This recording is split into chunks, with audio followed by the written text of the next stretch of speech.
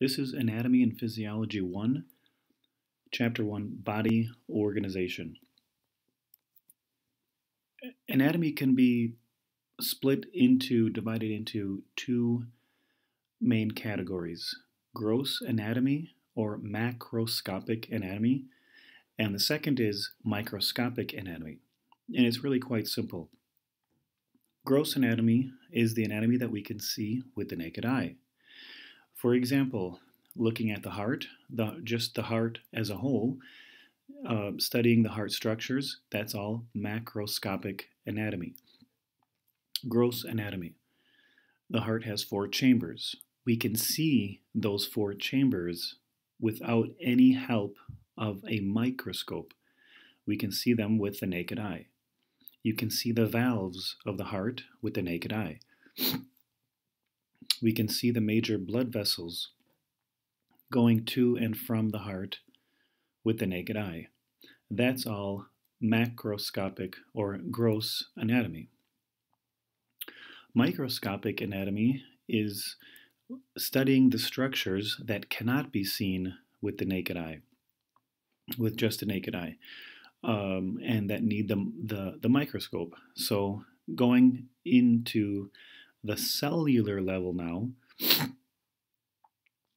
um, uh, uh, um, we're talking microscopic anatomy, looking at the cardiac muscle cells. That is microscopic anatomy. if you want to look at connective tissue at the cellular level, that's microscopic anatomy. If you want to look at the adipose tissue at the cellular level, single fat cells going around the heart, that's microscopic anatomy. We need a microscope enable, in, in, in order to see those single cells. And the other side of the course is the physiology part. The physiology is the study of the function, how do we take that anatomy that we just got done learning and put them put it together? How does that anatomy work together to help a, a particular function? That is the physiology. So we mentioned the four the four chambers of the heart. The physiology then is seeing how, understanding how those four chambers work together, understanding how the four valves of the heart working uh, work how do they work together that's the physiology part. The anatomy is looking at the individual anatomical structures heart uh, chamber 1 chamber 2 and so on and the physiology is seeing how they work together uh, another example is uh, um, an easy example is uh, looking at the, the, the arm, the bones of the arm. We have the humerus up at the top, and we have the radius and the ulna. These are th uh, three anatomical terms humerus, radius, and ulna. The physiology then would, would, is concerned with well, how do those three bones articulate? How do they connect together to allow our arm, our elbow to flex or to rotate or to extend. That's studying the physiology of those three bones. the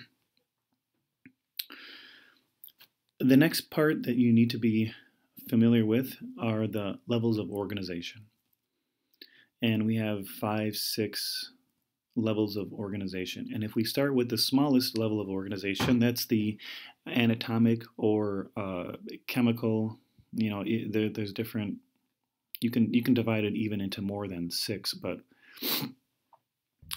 uh, the chemical level. Well, you, you take you take atoms and you combine them, and you got yourself a molecule or a chemical, and you continue to do that put them put those together and you get and you, pretty soon you got yourself at the cellular level now um, there are there are several different kinds of cells. There we have our cells. Here's just a few examples: smooth muscle cells. We also have cardiac muscle cells. We also have skeletal muscle cell. But we have blood cells. We have bone cells. We have fat cells, nerve cells, reproductive cells, epithelial cells. And you put these, and, and, and if you can, if you put these, if you have two or more different kinds of these kind of cells, we're, we found ourselves up in the next level, which is the tissue level. In order to be studying the tissue level, we have to have two or more different kinds of cells. And if we move up to the organ level, in order to be at the organ level, you, you need to have two or more different kinds of tissues. And then to make it up to the organ system level, you need to you need to be talking about two or more different types of organs. And then finally the organism at the very very top all organisms have two or more, at least two or more different kinds of organ systems. So, uh, going back to the heart, for example, um, at the cellular level, the heart has um, cardiac muscle and it has connective uh, tissue and it has um, uh, connective tissue cells, and it has um, adipose cells, adipocytes, and it has neural cells, neurons, and so these are different kinds of cells. You put them together, and we have our cells. Uh, we, we have muscle tissue, we have adipose tissue, connective tissue, nervous tissue, and those make up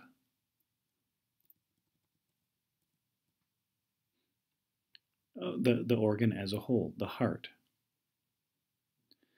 And if we continue to the organ system level, well, an example of the organ system level is the cardiovascular system. Cardio, heart, vascular, meaning the blood vessels, and the, the, that system is made up of two or more organs, cardiovascular system.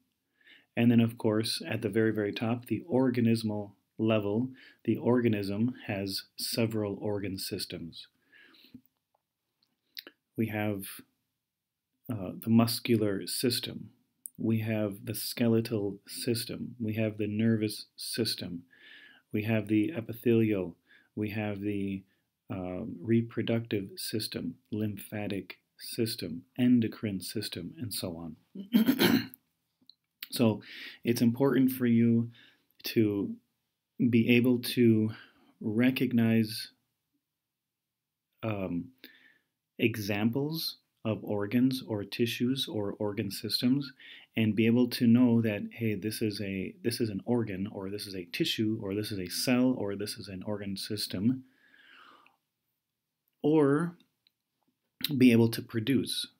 So, which of the following is an organ? So, forward or backward, um, get get good at recognizing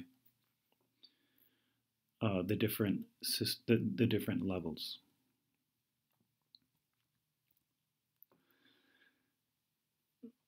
There are four primary tissue types in all of the body everything that makes up the body is made up of four primary tissue types, no matter where you are in the body. Skin, or muscle, or blood, or tendons, you name it, it's going to be made out of up of either epithelial tissue, connective tissue, muscle tissue, or nervous, neural tissue. And we'll be delving into each of these uh, later later on in later chapters, and and so as we sort of just touch the the, the summaries of these, uh, we're, we're in no way done you know, studying these different tissue types. We'll be doing that in, in, in detail. So of course, know these four. They're, they're know these four for this uh, for this chapter. and this is a nice diagram to show you uh, where again uh, does do, do tissues fit in. Tissues are made up of two or more different kinds of cells, yet two or more different kinds of tissues make up can, can combine to make up an organ. And there's your epithelial, your your CT, your muscle, and your neural tissue. Very briefly now, very very briefly, just know the the basics of the four different the four primary tissue types. Just the basics. Epithelial in general um, has a few functions a few main functions. Number one that it forms it can form a barrier with specific properties. It covers exposed body surfaces exposed to the outside and it and it also lines the inside of our body. Cavities and, um, and organs. This is also epithelial tissue. So anything that's, uh, that, that lines, chances are it's, we're talking epithelial tissue. Our skin, for example, is epithelial tissue. But also on the inside, anything that our digestive tract needs, all that is, all that lining is epithelia respiratory, reproductive lining, urinary tracts. This is all epithelial tissue that, that, that makes these different linings. And but the uh, but there is another type of of uh, a, a, subcategory of epithelial, epithelial tissue, which is um, epithelia, and this produces glandular secretions. The glands glands are made up of epithelia, so another another um, function of epithelial tissue.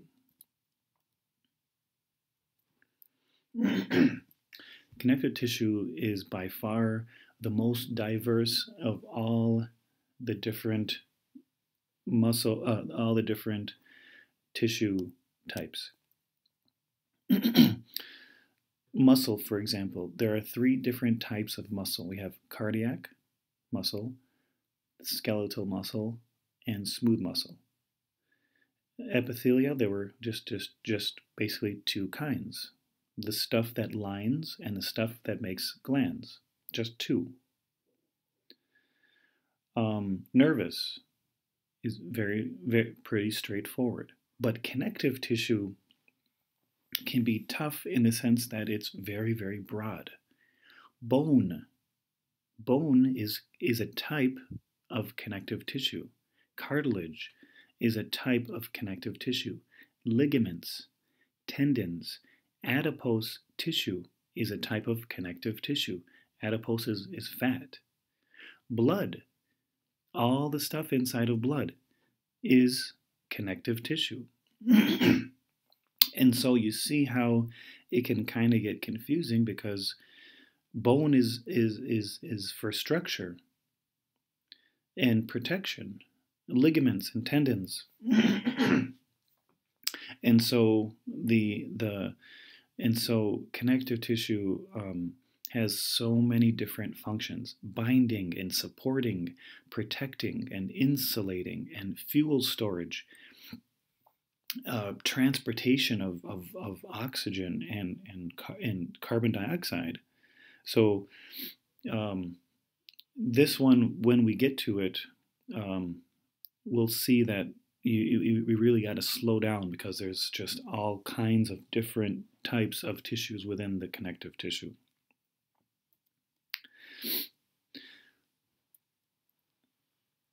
And here's just a, um, an example of, of um, a type of connective tissue. Muscle, so, so uh, again, just the brief just in just very briefly for this chapter, just very brief, briefly know the, these few bullet points. And then later on, we're going to delve into each of them in, in detail. muscle, the major functions is skeletal movement, bone movement. It, it, it's what allows bones to move, to, to, to flex and to uh, jo- joints to flex and to extend, for example. Soft tissue support. In, within our viscera, maintenance of blood flow, movement of materials internally, the GI tract. How does the how does our small intestine move food? Well, that's that's muscle. How does our body maintain a 98.6 degrees?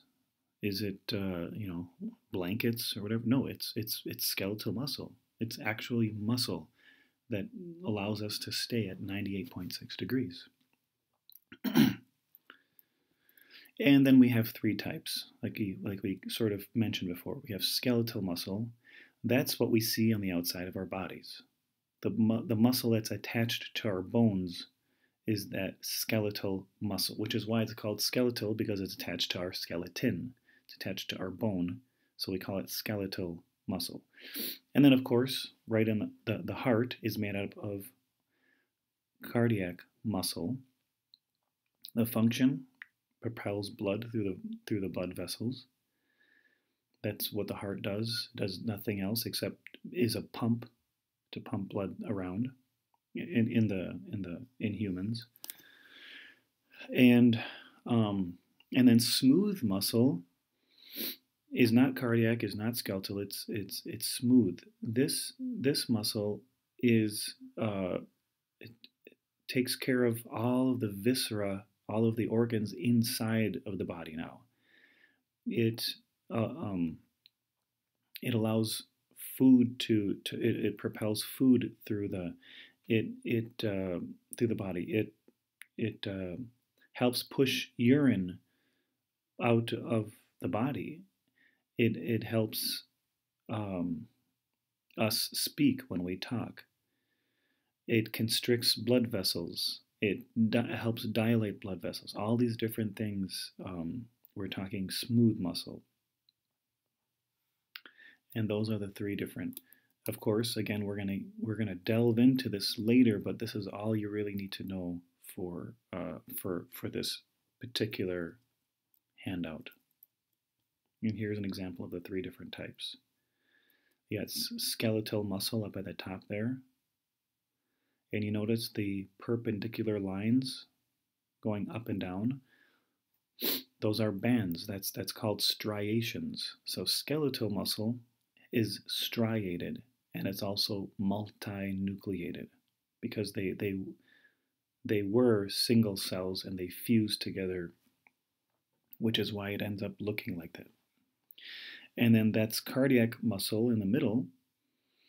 And it's also striated, but a main difference is that there are uh, branches. Instead of it, instead of the muscle like in skeletal muscle, the muscles are uh, muscle fibers are parallel, stacked nicely. Well, with cardiac, it's uh, the muscles are connected to each other, and that way, since all the muscle cells in the heart are connected to each other, the heart can communicate very easily and pump and beat at the at the same exact time. Easy communication. And then finally, smooth muscle is at the bottom there. That's the muscle that you find within glands and the respiratory system and the circulatory system and so on, our viscera. Smooth muscle does not have those striations, that sort of zebra print going up and down or perpendicular to the fibers. It's, it doesn't have that. It still does contract just like the other two. It just it's just missing the, that zebra print looking um, striations. And that's that's all you have to know for muscle for this chapter.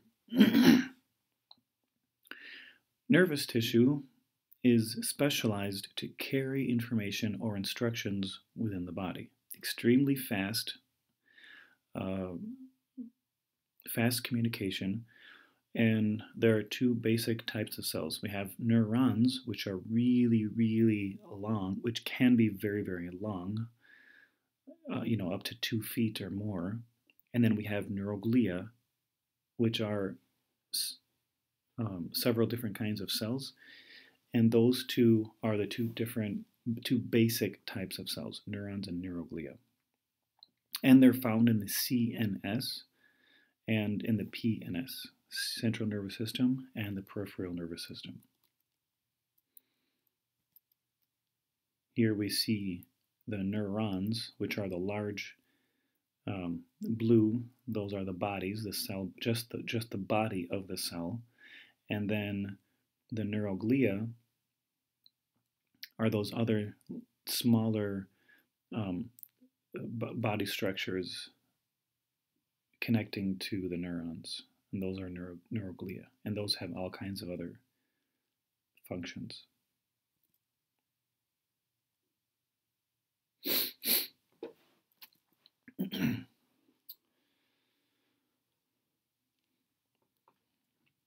now, the next piece we're we're um, we're looking at um, feedback systems.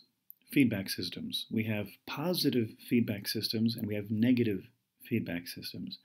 But in each of them, uh, we have, as you see over in um, number one there, we have a receptor, we have a control center, and we have an effector. And in these feedback systems, the receptor, for example, let's let's talk about thermoregulation, uh, temp, which is basically temperature regulation. The the the receptor then would be nerve endings in our skin, found in our skin, sensing the temperature of of of the of the skin on the outside of our body.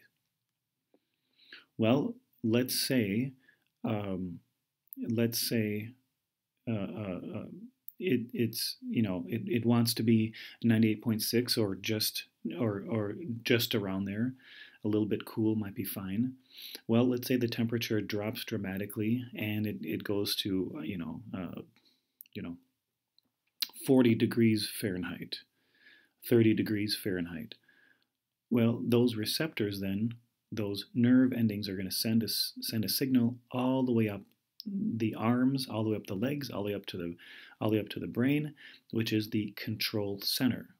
And the control center then um, will say, ah, it's much too cold, at, at least out on the on the outside surface of the body, and therefore it sends a signal back all the way to the effector. Well, what what is the what does the effector do? The effector changes the condition at the original spot that the receptor was taking in information.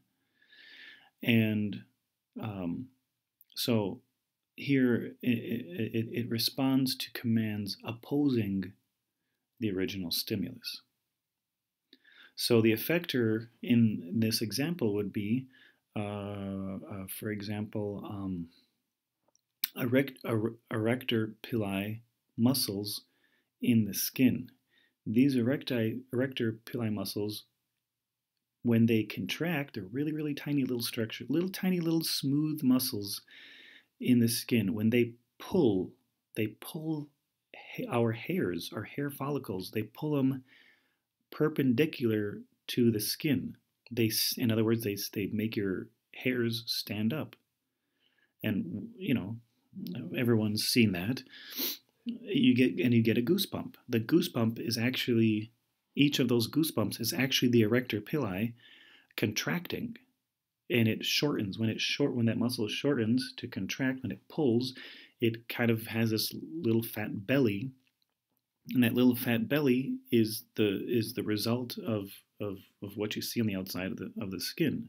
That little bump is actually right where you have in the little erector pili pulling a hair perpendicular to the, to the skin, standing those hairs up that way. Uh, you can slow down the air that's swirling around right on the outside of your skin.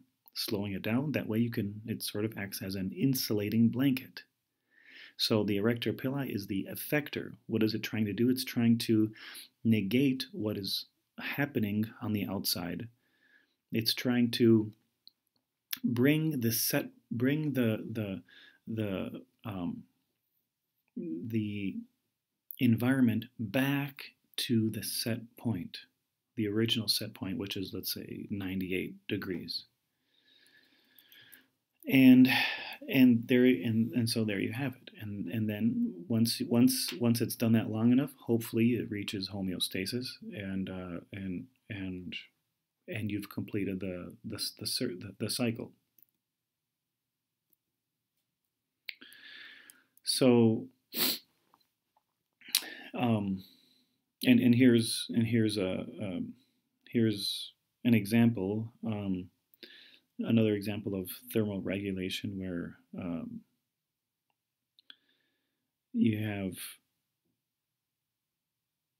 where you have uh, uh, you know 22 degrees Celsius, and um, when the uh, when the temperature uh, rises above that, the air conditioner then will turn on and it continues to, to stay on until the that red line goes back down, down, down, down, down. Once it's it's down far enough, the air conditioner can then, okay, we're cold enough, the air conditioner can turn off, and then the temperature will eventually go back up.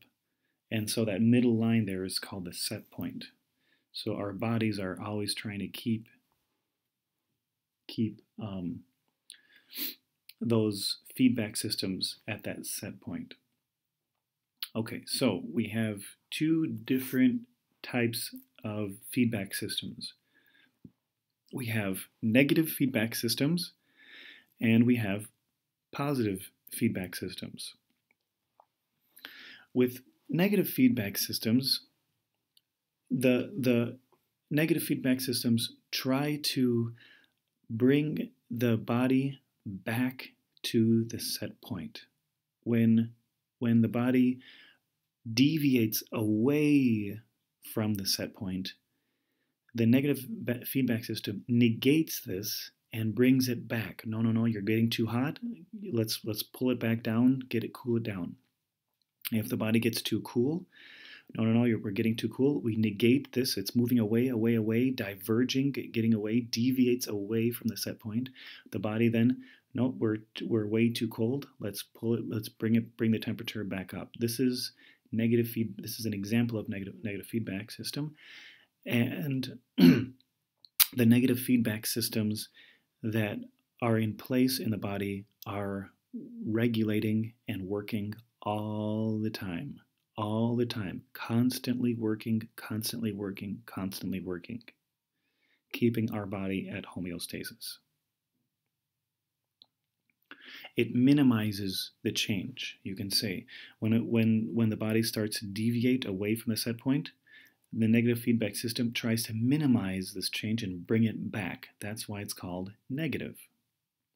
Now the regu- now the uh, thermoregulating um, feedback system that we just talked about, thermal regulation. This is an example of negative feedback.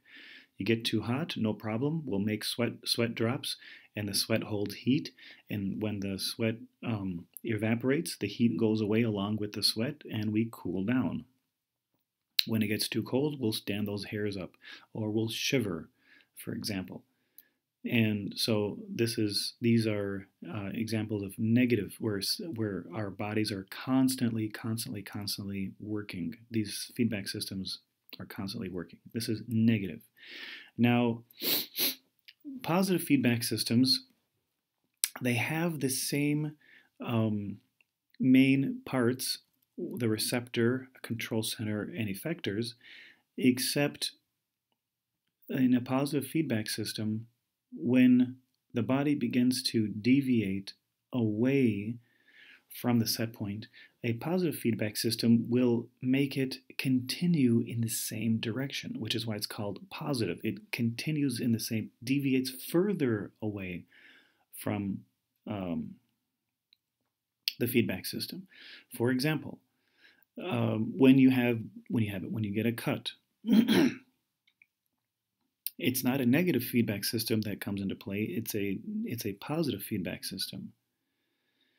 And so uh, for so you know when you have damage to the cells in the in a in a blood vessel wall, it releases a chemical that begins the process uh, the process of blood clotting.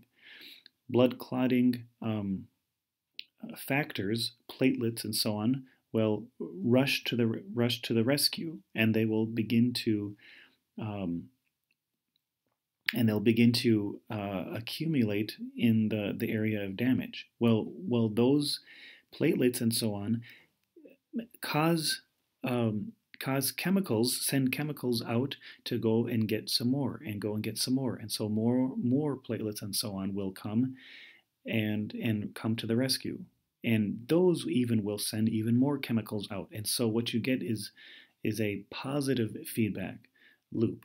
It, it accelerates the original uh, response.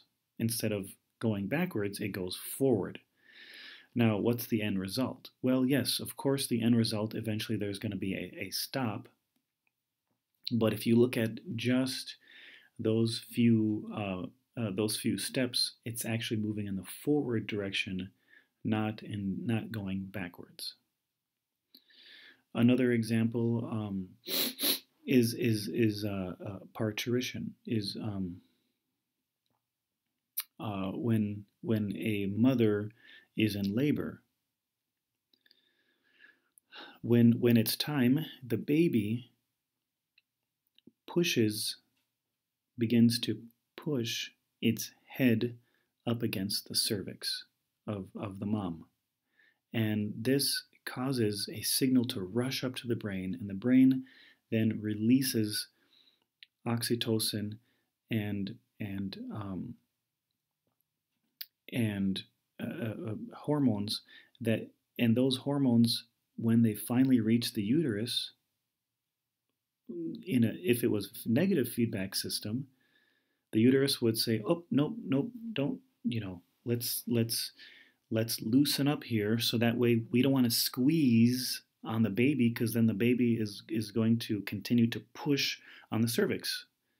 So let's loosen that up. No, actually, what is what that that would be a negative. But what happens? Those hormones cause the uterus to to to actually contract, pushing the baby even harder on the on the cervix.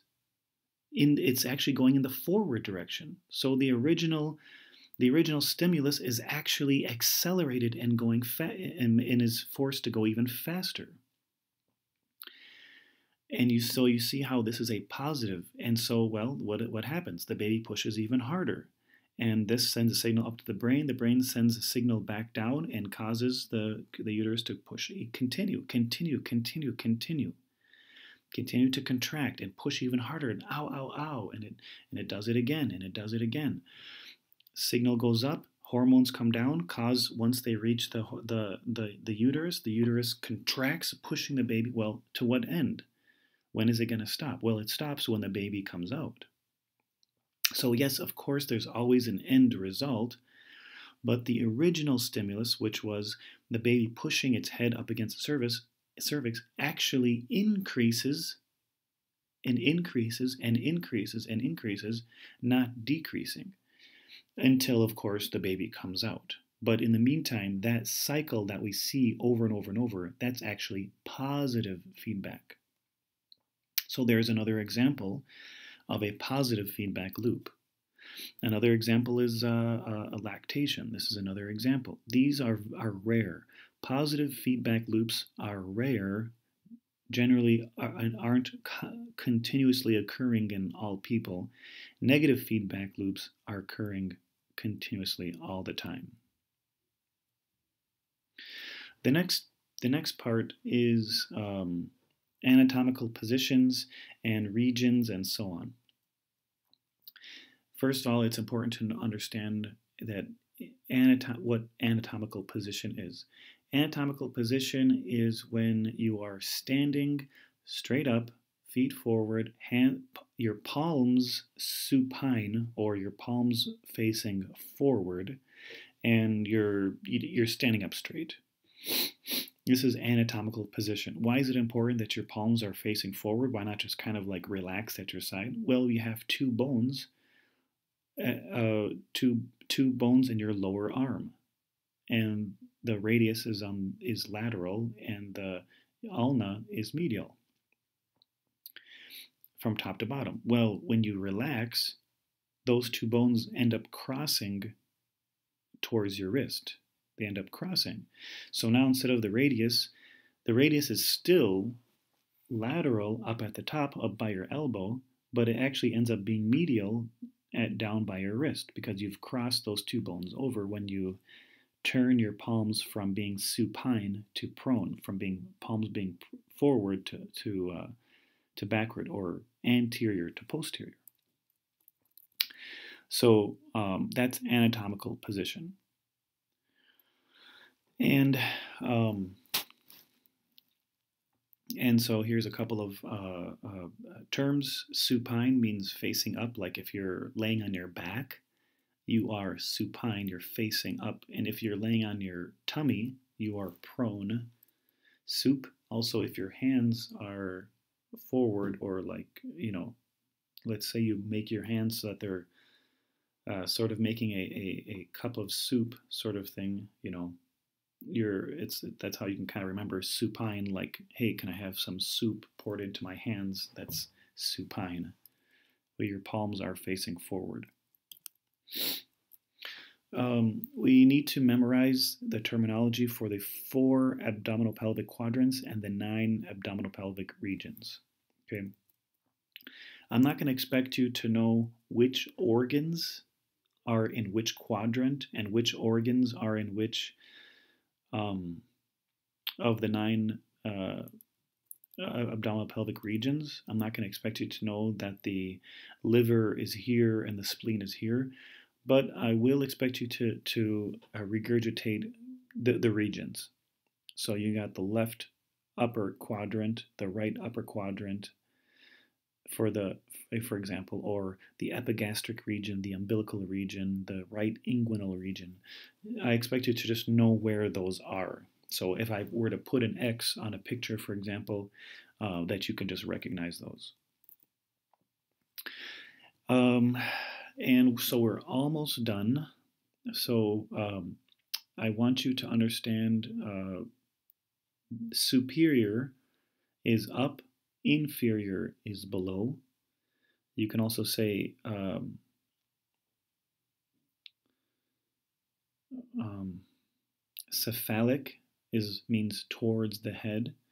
We say when we there's a, a, a blood vessel that you will learn next semester. Break the the brachiocephalic. It just means that that blood vessel will send blood to the brach brachia, which is your arm, or cephalic towards the head. It sends it's it branches. Also, uh, lateral and medial, proximal and distal, and anterior and posterior. So, when we say uh, superior, superior and inferior, we're usually talking about like in the trunk of the body or like in the head. For example, your nose is superior to, what do you think? The mouth. Just an example. The, the nose is superior to the mouth because your nose is, is above your mouth when you're in anatomical position. Uh, and your chin is inferior to the mouth. Your chin is below your mouth when you're in anatomical position, not when you're doing a headstand or whatever. Um, when we use the terms proximal and distal, we're usually talking about the arms and legs. Now, would you say that the elbow is superior to the wrist? Yeah, the elbow is superior to the wrist, but a better way to say it is the elbow is proximal to the wrist. The elbow is closer, is proximal, is closer uh, to your shoulder or closer to the midline than the wrist is. And the wrist is further down your arm, so we say distal. It's distal to your elbow.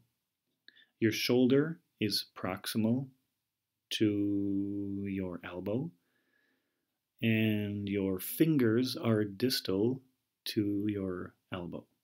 Okay, so you see those how you, how we can use those examples when we say proximal and distal. We're talk we're usually describing points on the arm or on, on the on the leg. and and then finally, uh, or um, two more two more different uh, sets. We have lateral and medial. Um, and just try to give you some easy points without having to learn all these uh, anatomical um, landmarks. Let's say, um, let's say uh, the ears. The ears are lateral to the to the nose. The ears are lateral to the nose because the ears are further away from the midline and the nose is right on the midline. So the ears are lateral to the nose. The nose is uh, medial to the ears. And it, it turns out that the ears are also posterior, right? The ears are also posterior. They're they're towards the back. So there's two more terms, anterior and posterior. Uh, on the on the left on the left uh, diagram there, you can see the lady, um, we're, we're seeing a side view there, so now we can see forward and backward. So her nose is anterior to her ear because it's forward, and her ear is posterior to her nose. So it's it's obviously easier e easy to see that. Or her or her her her her tummy is anterior to her back. Her back is posterior to the uh, to the tummy. Some people say posterior. You can say whatever you want. Um, when we're talking animals, we can also use uh, dorsal and ventral because what is superior now changes to the back because animals are on their um, you know on their fours and so it, it it it changes. So there's there's two more words that we can use with humans or um, you know with animals but superior inferior anterior posterior are are good are perfect are definitely enough to describe any type of direction with when it comes to humans all right. And the last the last um, the last thing that I need you to know are the three you know three or four planes three planes. The the first one um, is that we can talk about uh, cuts the body into front and back hat sections into anterior and posterior sections so that way you have a, a front half and a back half. That's the it's called the frontal plane. Frontal plane. Another word that you might see, so write this down, is coronal. Coronal comes from the word crown. So if you put a crown on your head, not like a Burger King crown, but like a, a headband crown, that would that would split the body into forward and backward, to front and back halves. Coronal and frontal are the same plane. It divides it into the, your chest and your back, for example. Another one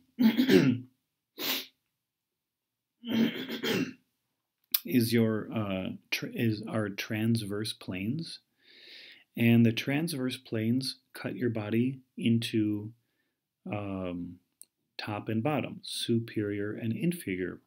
So uh, you can take slices across your waist, for example, your chest, and you're dividing the body into slices superiorly and inferiorly.